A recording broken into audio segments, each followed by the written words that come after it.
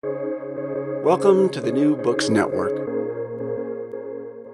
Welcome to New Books in European Politics. I'm Tim Jones, and I'm talking today to Serhii Plokhy about the Russo Ukrainian War, published in May by Allen Lane. Acclaimed by the Financial Times as the world's foremost historian of Ukraine, Professor Plokhy is the author of, among other things, the prize winning Chernobyl History of a Tragedy, a sweeping history of Ukraine called The Gates of Europe, and a new history of the Cuban Missile Crisis, Nuclear Folly. His new book concludes with this prediction The Ukrainian nation will emerge from this war more united and certain of its identity than at any other point in its modern history. Moreover, Ukraine's successful resistance to Russian aggression is destined to promote Russia's own, Russia's own nation building project. Russia and its elites now have little choice but to reimagine their country's identity by parting ways not only with the imperialism of the Tsarist past, but also with the anachronistic model of a Russian nation consisting of Russians, Ukrainians, and Belarusians. Serhii Plokhy is the Mikhailo Hrushevsky Professor of Ukrainian History at Harvard and Director of the university's Ukrainian Research Institute. Serhii, welcome. Oh, it's a pleasure, Jim. Thanks. Thanks for having me on your podcast. Wait, you begin your book, uh, this new book on the war, by deliberately misquoting Churchill as saying the historians are the worst interpreters of current events except everyone else. When you said that, I, I remembered something Eric Edelman said six months into the war. He said that um, why is it that historian, historians have done a better job of explaining this conflict than Russian military experts? So, do you agree with that? And is that what you meant by your uh, by your Churchillism? Well, what I meant was that uh, sometime during the first week of the war, I uh, discovered that people uh, kept turning to me for for commentary and analysis, and um, a lot of these questions were about history, about the the road to the war, and uh, I was uh, I, was surprised, but I responded positively to this request because I thought that uh, I could, uh, if people are interested, this is my chance somehow to to to help to to deal with this situation intellectually, emotionally, and otherwise. And that convinced me that uh, not just I, but we historians as a whole had something had something to say, and that something is a, a historical perspective normally our wisdom as historians comes from the fact that we are commenting on Monday on the game that was played on Sunday, and we know already the result.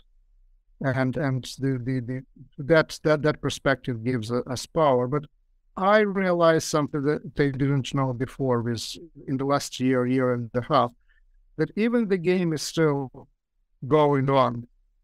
Knowing history, knowing where it started, know background of the of the of the people on the field really helps you to not only understand what is happening now, but also to predict predict the outcome, not the immediate outcome, but long term outcome, not maybe the outcome of the game, but certainly the results of the season.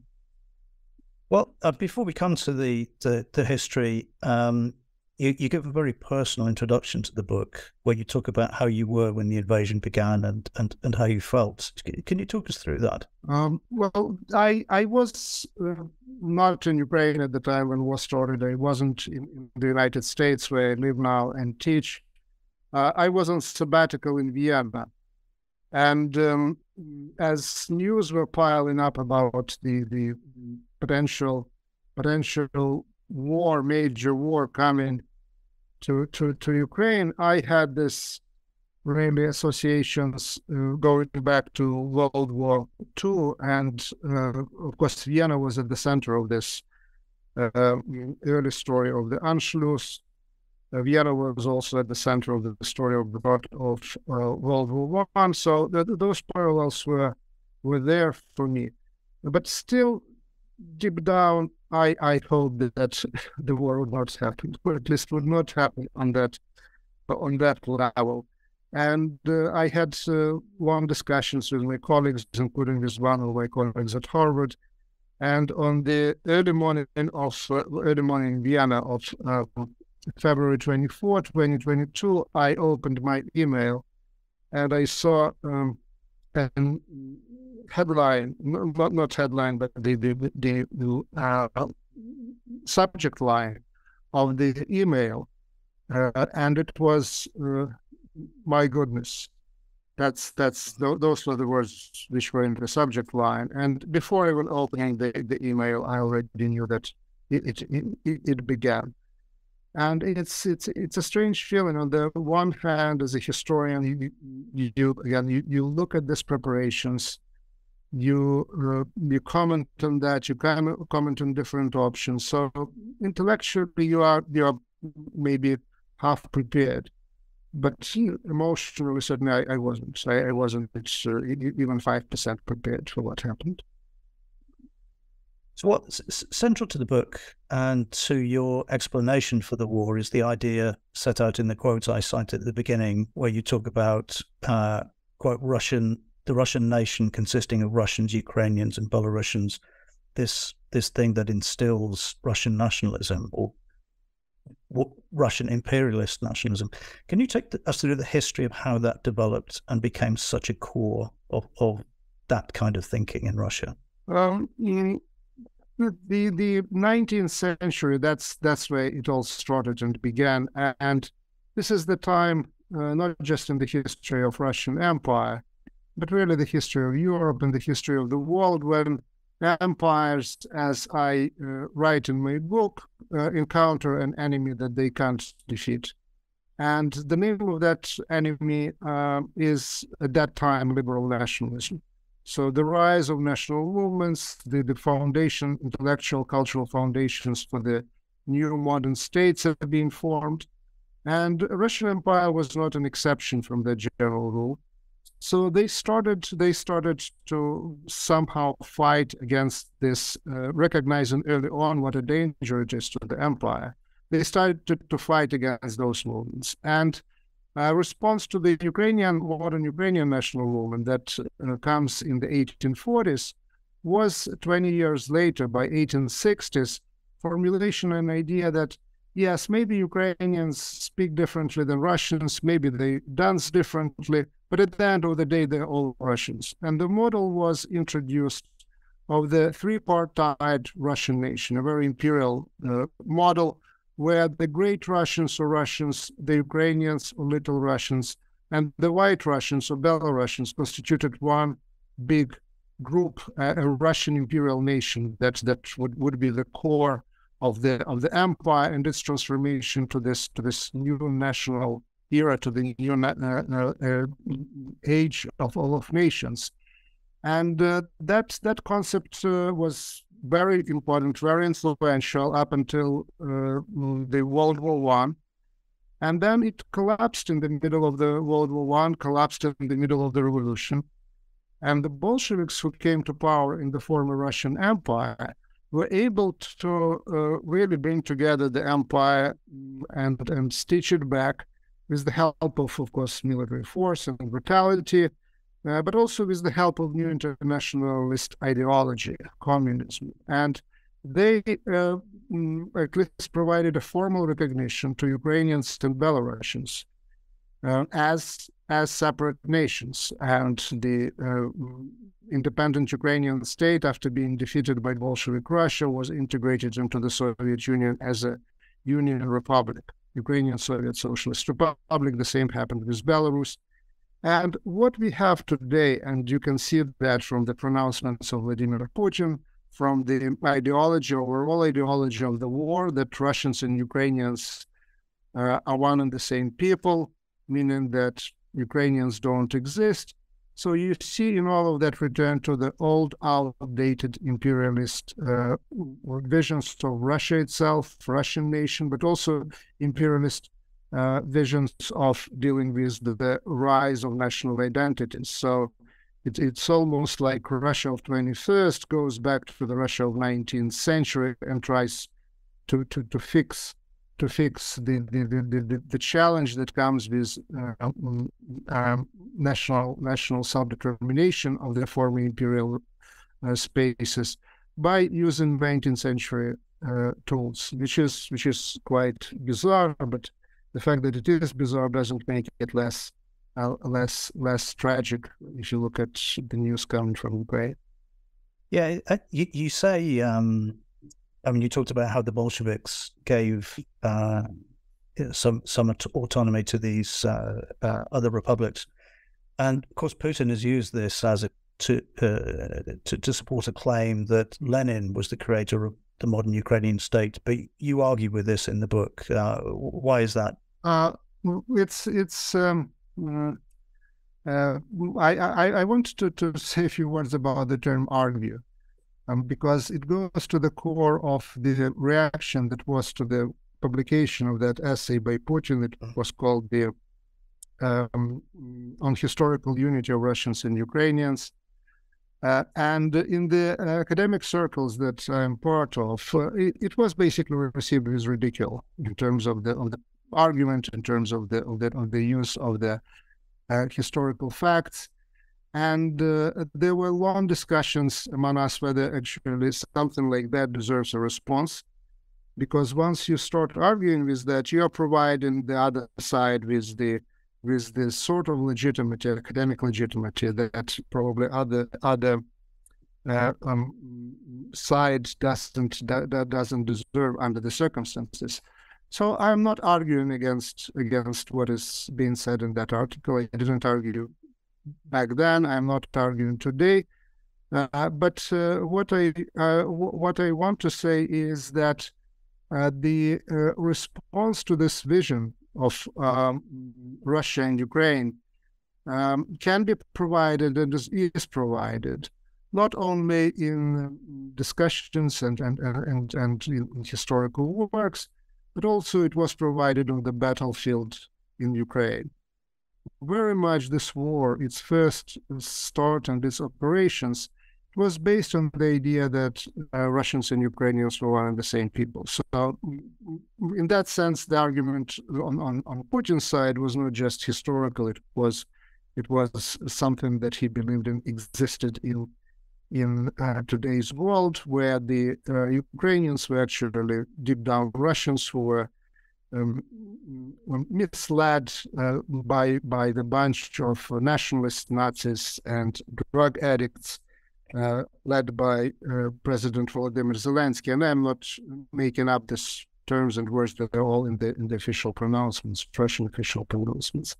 So the expectation was that uh, good Russians in Ukraine would welcome the Russian troops uh, entering the country with flowers, and they met them with uh, with uh, the with weapons, and keep keep fighting back.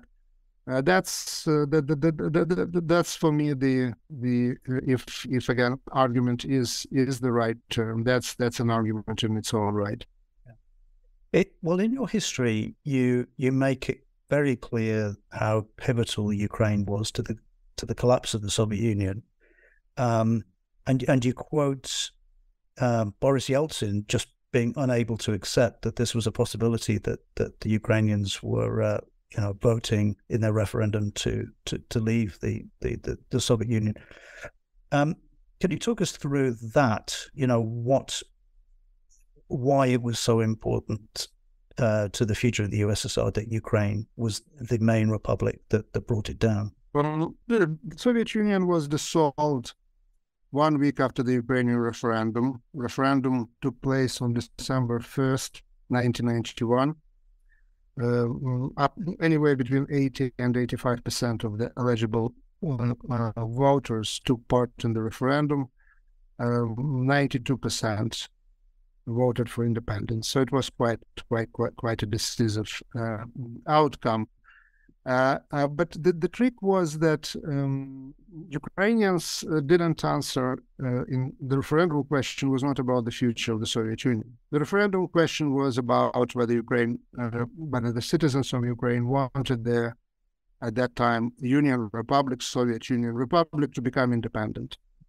But the outcome was the fall of the USSR and uh, Ukraine was the only republic in the in the entire union that held a referendum on independence. Well, one other held, but uh, Ukraine's vote decided really the fate of Russians, of Kazakhs, of, of uh, uh, many other groups and nationalities in the Soviet Union, because neither Yeltsin nor even Gorbachev imagined a continuation of the Soviet project, I mean, Union project, without Ukraine. Uh, and there are the, the, there is a number of reasons for that. One of them is that Ukraine used to be the uh, second largest after Russia Republic of the Soviet Union in terms of population and economic output. So economically, for Russia to continue with the mm, uh, the, the, project of the Soviet Union, which in 1990-91 considered the project that required the sort of money that Russia didn't have, so economically, for, for Yeltsin to continue with the union project would be would be a major problem. That's even if you forget about really not happy relationships between Yeltsin and Gorbachev.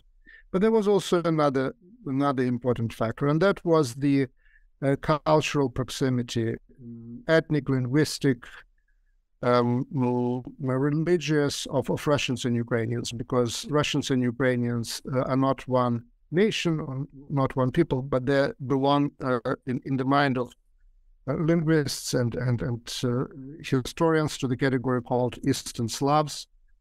The historically the origins of both countries are in Kiev, the capital of today's Ukraine, uh, and um, religion, the, the, Orthodox uh, or Eastern Christian religion, um, which shared by the majority of population of Russia, majority of the population in Ukraine is, certainly the factor that made uh, Ukraine an important an important factor in terms of the either so, both Soviet history and post-Soviet history. And um, Yeltsin uh, more than once told uh, President uh, George H. W. Bush of the United States at that time uh, that uh, without Ukraine, Russia would be, as he put it, out outvoted, outnumbered in the Soviet Union dominated by Central Asian republics, which by definition were not East Slavic or Slavic at all, and were not were not uh, mm, mm, Christian, to say nothing about,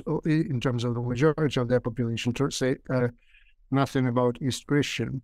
So all of these factors from economic importance, uh, from the number of the population to the to the um, uh, historical proximity uh, of uh, Ukraine to Russia uh, really contributed to the fact that once Ukrainians voted no to the Soviet Union, Russia lost interest in the project, and then the rest of the republics followed, and the Soviet Union fell apart within four or five months after first after the Ukrainian parliament declared independence, and then one week after Ukrainians supported that decision, the parliament at the referendum.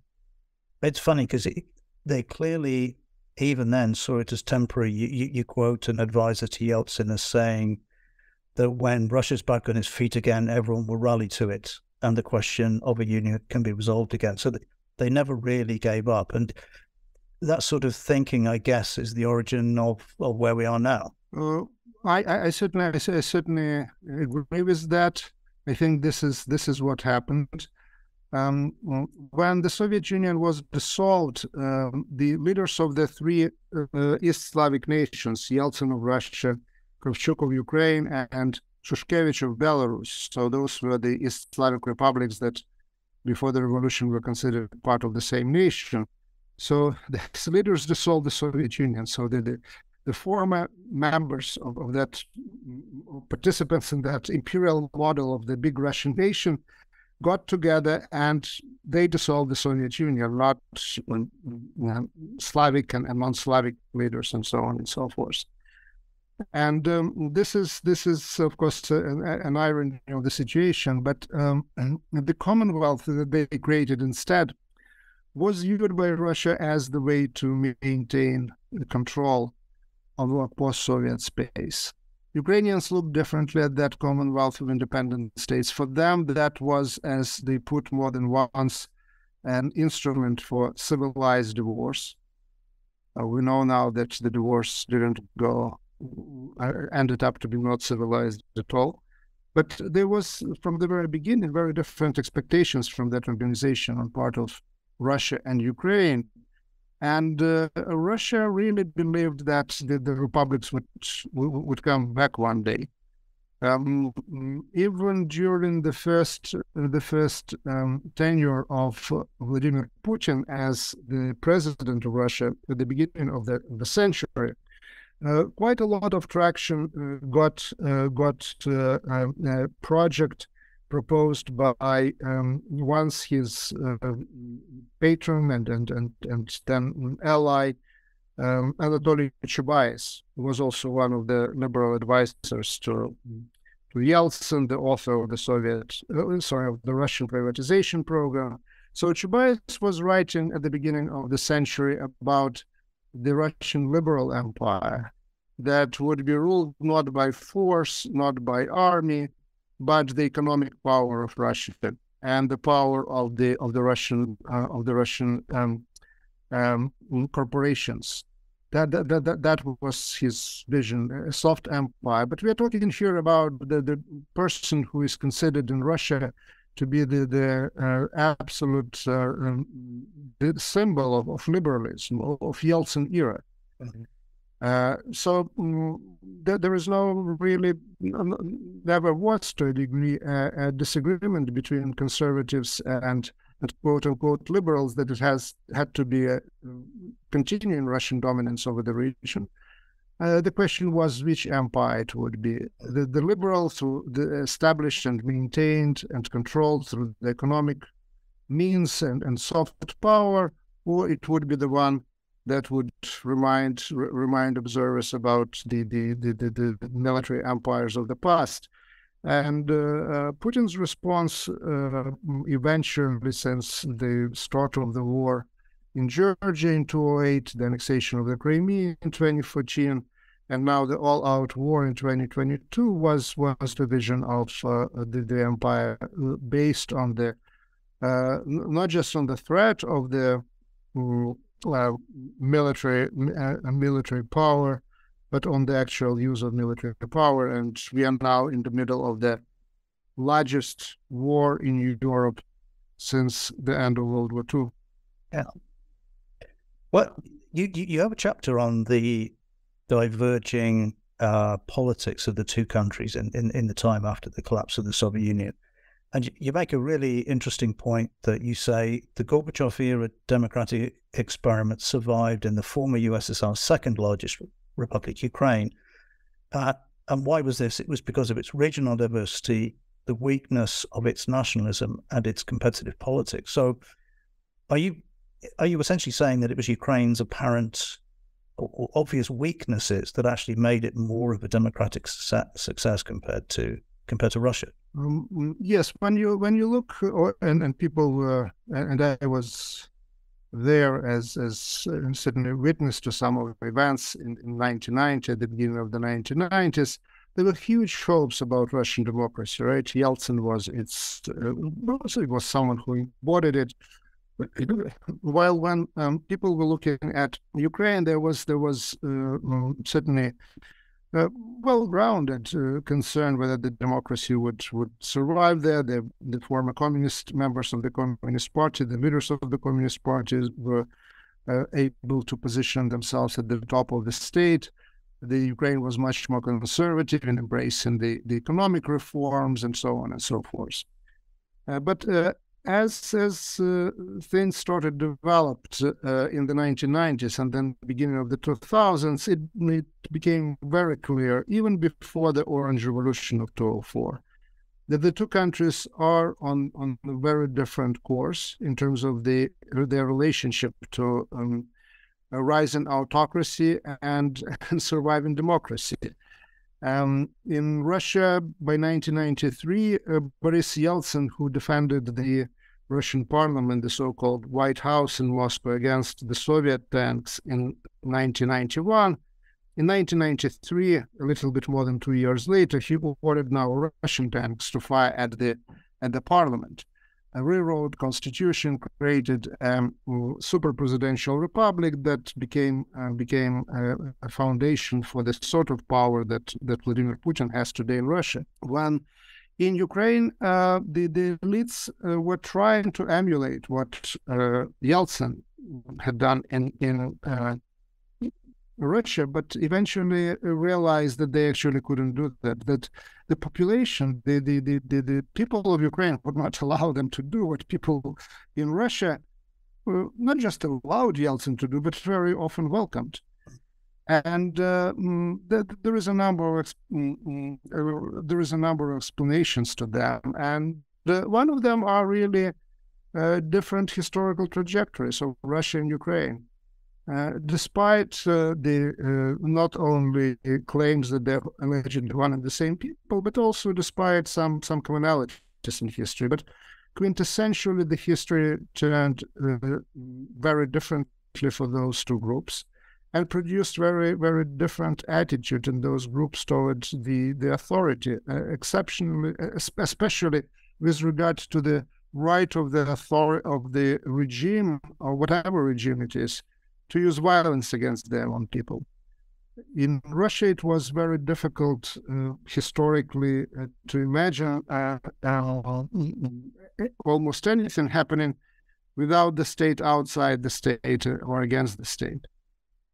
And the, the violence uh, legitimized by state was considered to be a, a, by majority of the population to be a legitimate one. In Ukraine, you see a, a situation where Ukrainian project, national project, modern project, came, of course, into existence uh, despite the desires of the state, against the state, and survived in, in confrontation with the state. So Ukrainian society really had very difficult, difficult task ahead of it when Ukraine became independent in 1991 somehow to, to learn how to live in a state which is not an outside, which is not a, foreign state, not a foreign force, not a force imposed on you, but, but elected on you.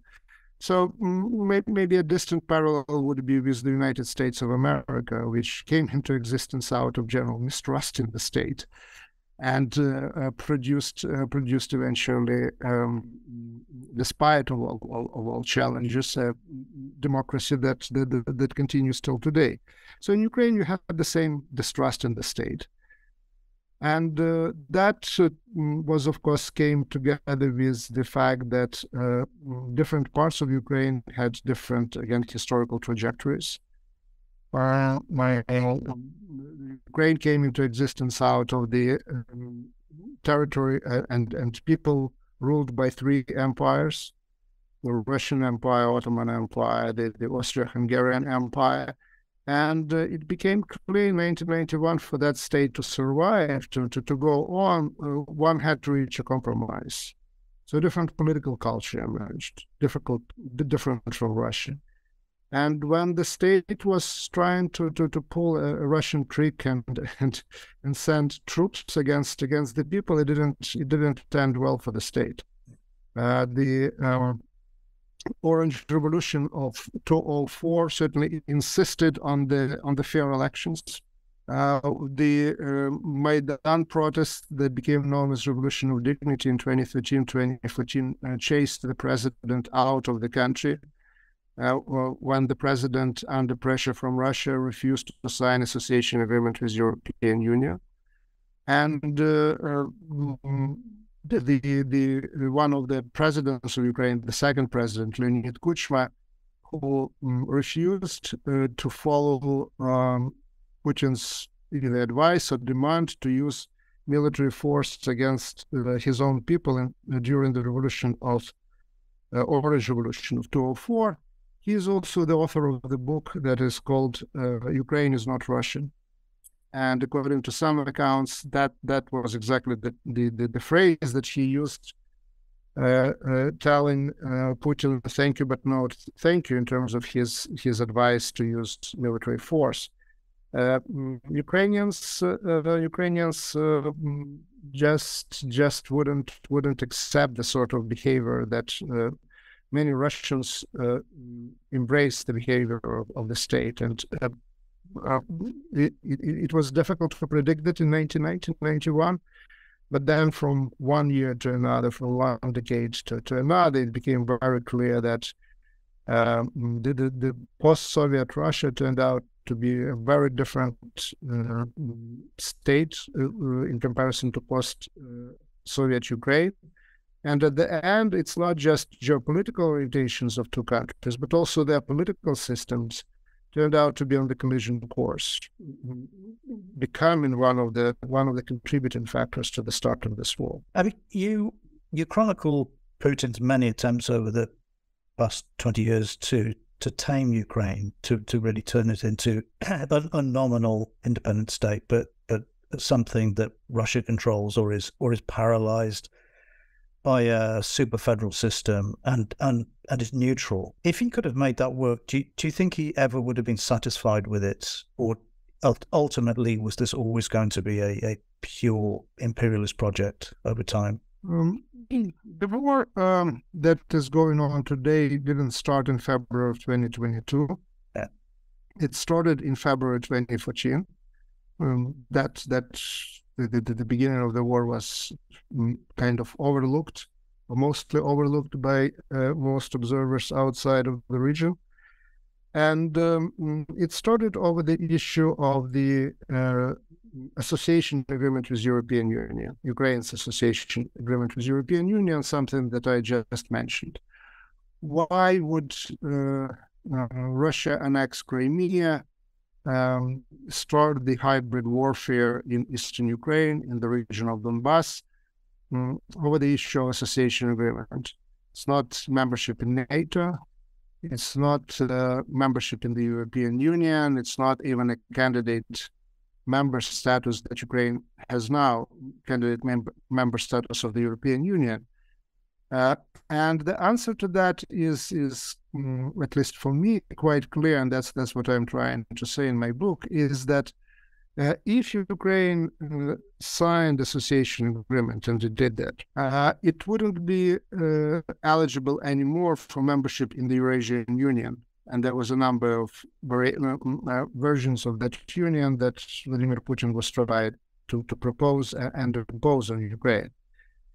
Uh, so the, the, the, project was, and, and the war started outright uh, out of this uh, empire building or re- rebuilding project, because uh, Putin really followed in the footsteps already of the, the Russian um, politicians and, and thinkers of the early 1990s, where the, the world was imagined in Moscow, the future world, the ideal world, as a multipolar world not one dominated by, by the United States, but multipolar, and Russia was imagined as one of those poles. One part is China, rising China at that time, and one part is the European Union that was in the process of territorial extension. Um, but to become a pole, uh, there was also understanding that Russia would have to uh, re, re, reestablish its control in some form. The form was was debated and discussed, uh, but in some form, from liberal empire to illiberal empire over the post-Soviet space. And Ukraine, the second largest Soviet and then post-Soviet republic, was really crucial for the realization of that project. Um, so once Ukraine tries to move um, westward and tries to escape the sphere of influence that Russia considered to be its own, what you get in 2014 is war. Uh, so at that point, it wasn't just about joining joining any Western institutions, at least in the in the immediate in the immediate future. It was just about signing an agreement that would keep Ukraine outside of the Eurasian Union. That was at that point already perceived to be unacceptable. So it is it, it is a very much imperial imperial project, but it is also, as we know now, uh, had been uh, supported by the by the form of the Russian imperial thinking that comes from the 19th century, and we we discussed that before. So empire and this imperial vision of nation is something that, uh, again, uh, the, the, the, Russia tries to, to implement on different in different forms uh, since the 19th century, how to reconcile that the, the nation and empire, how to to keep the one sixth of the earth that was acquired by the by by the Tsars up until 1917, how to keep it under control of one center, and at the same time uh, at the same time somehow find a formula to to deal with the with the global processes of the rise of, of national state, of, of uh, the rise of the sovereignty of those states. So we, we will just look look at over the the centuries, look at different ways how how they're trying to to, to reconcile empire with nation and the whatever whatever ideas, whatever models are out there, uh, most of them would lead to and lead to bloodshed. But coming to the full scale invasion uh, of last year, I mean, it's clear from your book and from other books um, covering the the beginning of the of the invasion that the, the Kremlin was shocked that the Ukrainians didn't collapse, you know, within days, as happened in Crimea, as essentially happened in Georgia in 2008, and that Zelensky didn't flee like Yanukovych. Um, it just amazes me. how how is it possible that uh, a country that, as you as you set out, is is two countries that have been so close for so long? How did they misjudge um, Ukrainian behavior so badly, and, and how was their intelligence and their spy networks so bad? Um, well, the the it's not just uh, um, the Russians didn't didn't misjudge Ukraine. Mm, uh, before the start before the start of the war, mm, the the Washington and and European capitals and and Moscow disagreed on almost everything. Uh, but there was one tacit understanding that that Ukraine probably would not survive for more than a few days, maximum weeks. Uh, you can um, you can see that not only from the way how unprepared for that war turned out to be Russia, really with the troops marching in Ukraine with the parade uniforms preparing for a parade on Khreshchatyk, the the main uh, uh, the main street of Kiev. But also you can see that from the sort of the weapons that um, the West had been sending to Ukraine reluctantly, with President Trump trying to get um, political bribes in return for, for those weapons. But the sort of weapons that were there were weapons for the partisan warfare. So if Ukraine would resist, the, the, the, the, the biggest optimists in Washington believed at that time it would not be the state that would resist the best thing for Zelensky would be to flee Kiev.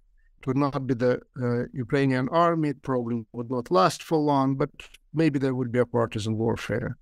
And that's that's sort of the weapons that were sent. So Ukraine Ukraine surprised in, in that sense both East and West in terms of its resilience. And uh, um, one one of the explanations when it comes certainly to the to the Russian side of how you can how you can misread the country so badly is that you become really a hostage, a victim of your own misreading of history and of your own mythology. If you really believe that Russians and Ukrainians are one and the same people, you not only expect that they would not fight back, that it would be just nationalists and drug addicts who would be doing that and a bunch of Nazis, uh, but also that uh, they would react to your use of force in the same way how uh, Russians behave. And uh, that uh, mm, misreading of history, that, that particular type of ideology that we discussed at this point became, at least in my opinion, also crucial crucial reason for misreading Ukraine, for misunderstanding and, and making wrong predictions in terms of how how Ukraine and Ukrainian society will behave, how strong was the state, how strong and determined were the, the, armed forces. And uh, uh, then uh, Russia, and we talked about that as well, is, is not a democracy. It is it is autocracy with elements of of a dictatorial regime. And uh, in the situations like that, the, the intelligence services are bringing the boss the information the boss wants to hear. And uh, the boss is very explicit in, in saying what sort of uh, frame, what, what sort of ideology, what sort of expectations he has. He, he publishes articles, he, he declares speeches. So it's mm, it's uh, um, mm, really, really a, a, case of not only imperial war on the on the Russian side, but also a case of uh, imperial type of miscalculations and uh, the the, um, the the falsehood of, of the imperial mythologies. Yeah, they, they, not only seem to have misjudged, um, you know, people in Kiev, but they they have misjudged people that they assumed were their allies. I mean, you make the point that the most acute victims of this war have been Ukrainians in the east and the southeast, many of whom are Russian speakers, and probably would have been Kuchma or Yanukovych voters. Do, do you think there are many or any Russophiles left in the Donbass? Uh, yes, the the the, the um, who suffered the most in this war were uh, exactly the people who um, Russia allegedly was supposed to save and liberate. The um, city of Mariupol that uh, was well, almost entirely destroyed, or at least half of the city was destroyed. Uh, before the war, uh, 44% of the population were not just Russian speakers, were ethnic Russians, and the absolute majority were Russian speakers. The second largest city in Ukraine, Kharkiv, that is 40 kilometers plus minus from the Russian border, uh, uh, was bombarded and continues to be bombarded for, for weeks and months. Uh, the, the the largest uh, suburb, uh, the, the largest part of the city, the the, mm, the Saltivka is, is, completely destroyed, and it's it, mm, what I read at least. They say that this is the largest sort of compound of that of that level in Europe in general. Um, so uh, what you hear now from the from the uh, mayors of of um, many cities, including Kharkiv, is that the attitude towards Russia became much more hostile than, uh, uh, in their opinion, is the attitude of the people in Western Ukraine who traditionally were viewed as anti-Russian. Western Ukraine was the place where the um, Ukrainian insurgent army was fighting against the um, Soviet um, armed forces and then Soviet internal troops for six, seven years after the end of World War II. Uh, and the, the, the, that that that resistance, that, that spirit of resistance to the to to to, to Moscow, to, to, to the Soviet Union, of course, normally because of that is associated with Western Ukraine. So now the argument is made that Eastern Ukraine is actually much more, uh, uh, much more um, well, uh, determined to to fight Russia than maybe other regions. Uh, so mm, it's a, it's a sad irony that this war achieved absolutely on that level, at least, achieved absolutely opposite to what to what was declared, and not only declared, but what was, in my opinion, one of the key key goals of the war of uh, uh, uh liberating uh, Ukrainians from alleged nationalists and uh, uh, allowing allowing Russians to be Russians again. That that that was the vision. Uh, the, the war will have and already has a major impact on Russian-Ukrainian relations for generations to come, and if anything, it strengthened um, mm, uh, Ukrainian Ukrainian uh, national identity that is exclusivist in uh, relation to Russia and certainly doesn't include include any elements of, of Russian um, the Russian um, identity of today, at least. Mm-hmm. Well, to, today, I mean, Ukrainians are, are bound to feel very uncompromising, but most wars do end in a compromise. And um, in, in many ways, Kiev has already more than achieved its strategic aims of, of binding itself to the European Union and NATO, and it's going to be Europe's preeminent military power once the war is over. So, can you see any way in which there is a compromise that allows some of these lands, particularly if the people who want to live in Ukraine have probably already come, you know, have moved west? There is any way to settle uh, on something like the pre February 2022 um, lines? Uh, Ukraine's position uh, is that uh, Ukraine wants to go back to the uh, its internationally recognized borders. Yeah, that means the borders b- before the um, February 2014 right before the start of the war. Um, and um, mm, I don't think there are any historical precedents where the countries would uh, basically say, uh, while fighting the war, that our goal is not really to liberate the entire country that was violated.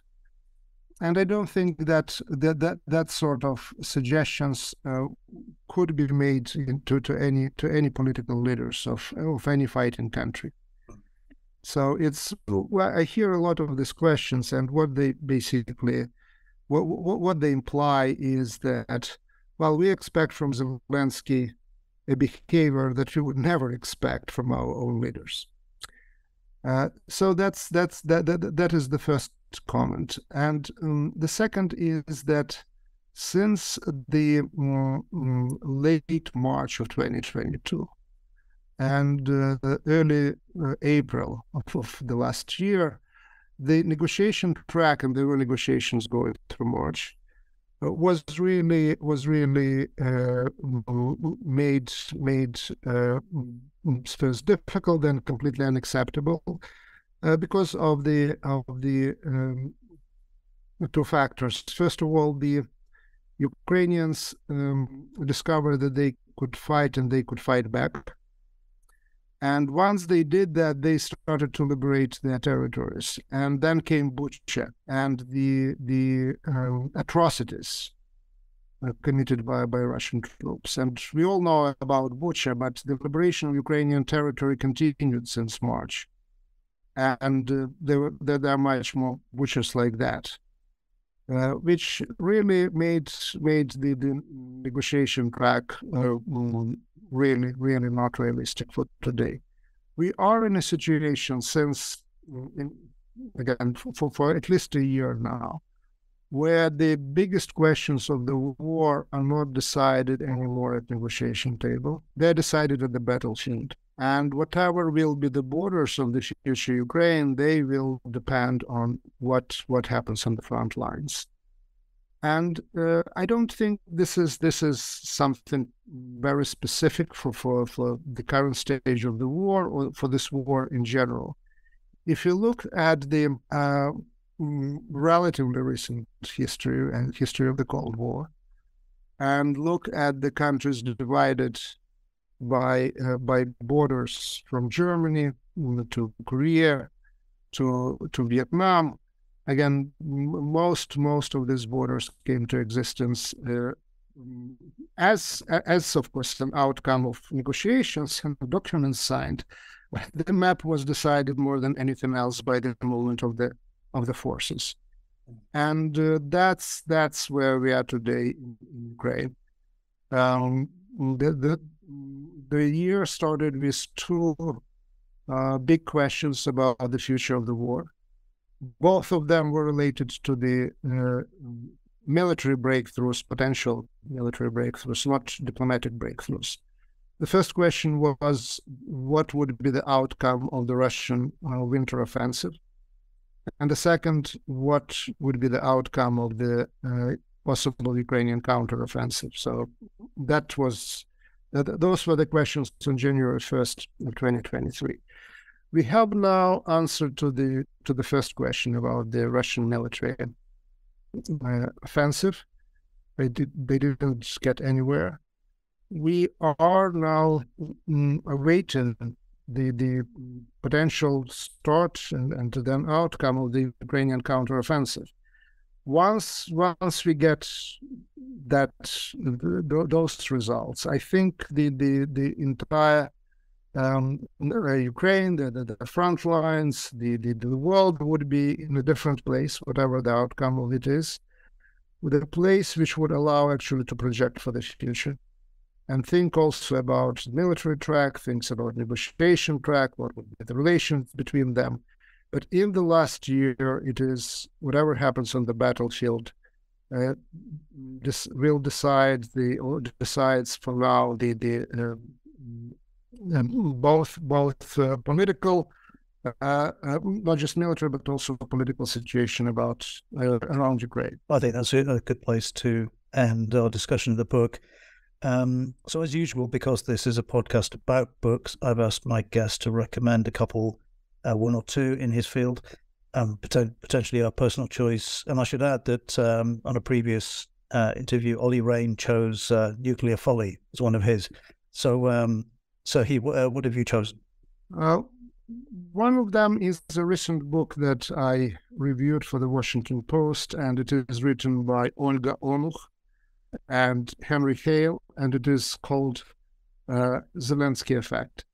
And I really highly recommend it because it, it, it is a book about, of course, uh, President Zelensky, who is a lot in the news now, who sometimes is called Churchill with, uh, with iPhone but it's also about the society, the society that produced Zelensky, and it is it is uh, very important.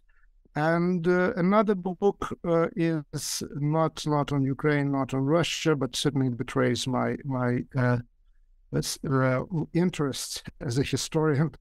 And the book is by Katja Hoyer, Beyond the Wall: A History of East Germany. And I read it, I, I blurbed it with with, uh, with, with pleasure it looks like it's it's doing very well, uh, and and in Britain in particular. So it is it is the history of East Germany, the the place that once exists, and without understanding which it would be difficult to understand today's Germany, including its position in the in the current war and and huge diplomatic crisis that accompanies it.